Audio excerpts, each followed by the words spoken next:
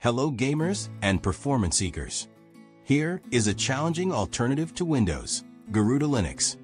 We are testing the performance of this gaming-focused Arch Linux-based distribution.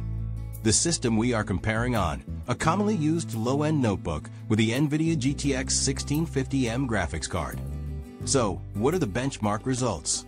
Should we choose Windows 11 or specially tuned Garuda Linux for gaming? We are now starting this critical comparison for those considering a switch to Linux.